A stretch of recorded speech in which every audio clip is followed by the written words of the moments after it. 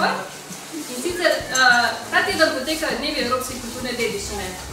In uh, mi smo pripravili uh, en dve urce programa za vas.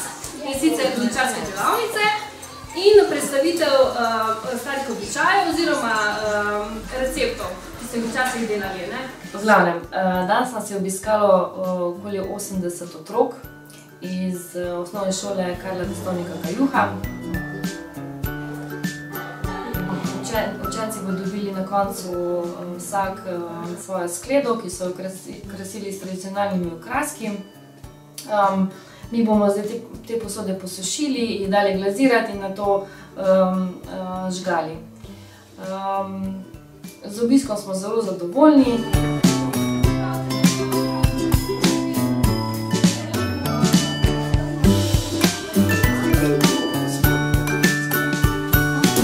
Jaz sem Jaz sem včeraj bil tukaj in sem vsakega od vas pokazal, kako izdelamo sklep. V današnji delavnici uh, sem otrokom predstavil uh, poklic končarja.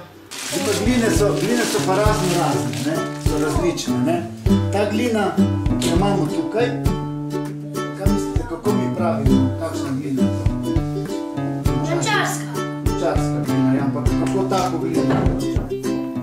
Otroci so spoznali nekaj osnov uh, tehnologije izdelovanja keramike, predvsem je bil poudarek na terminologiji, ne, na tem vsakdanjem besednjaku, ne, ki ga uporabljamo, kadar govorimo o keramiki.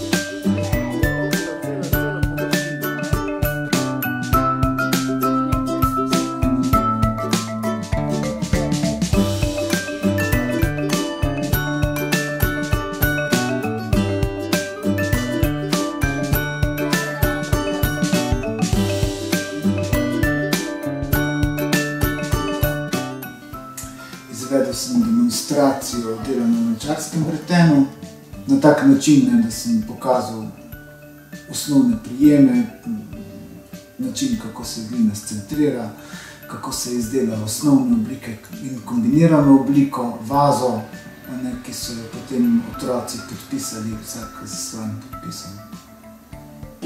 Kar napiši svoje ime, ne? tako ne preveč na veliko, ne da bo prostora, da se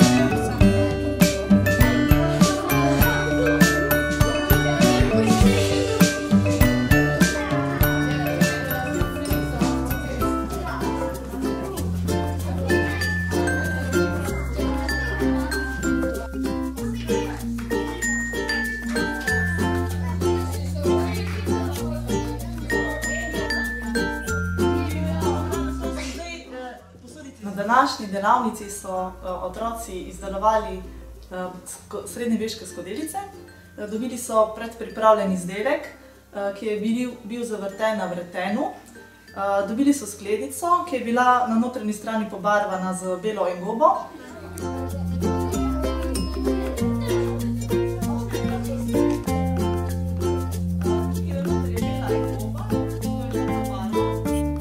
Spoznali so te, tehniko z grafito uh, in tehniko um, barvanja z engobami.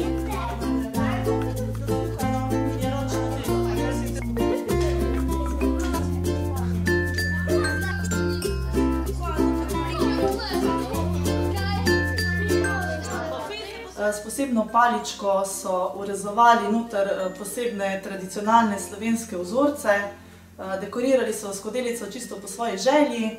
Um, tako pripravljeno skodelico in tako izrezano skodelico bomo mi zdaj posušili. Um, jo bomo prvič žgali, potem jo bomo zglazirali in potem ponovno žgali. Um, taka skodelica, lepo dekorirana, bo dobila svojo ne le lepšo podobo, ampak tudi uporabno vrednost, ker jo bodo otroci lahko potem uporabljali.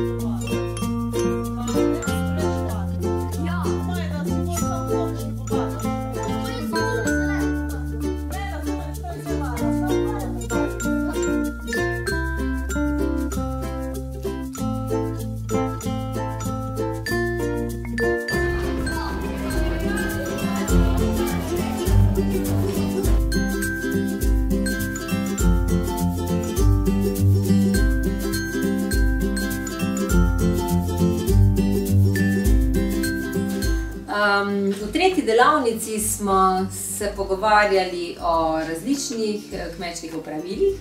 Mi smo se osredotočali uh, predvsem na kmečka opravila, ki so povezana z prehranjevanjem in sicer s prehranjevanjem v skledi.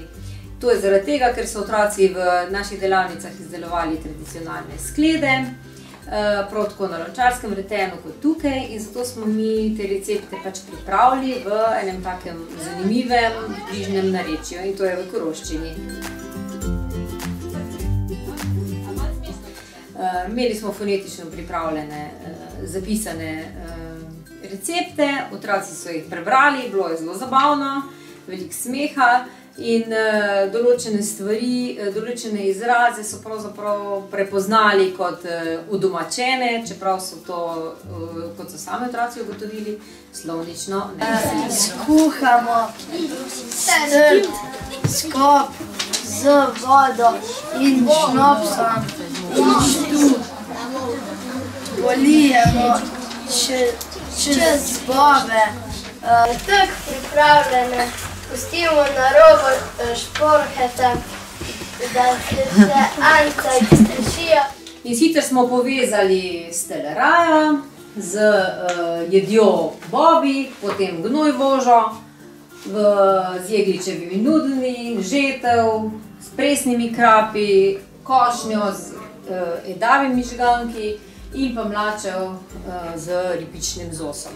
Ripični zos je kot ena krompirjeva juha.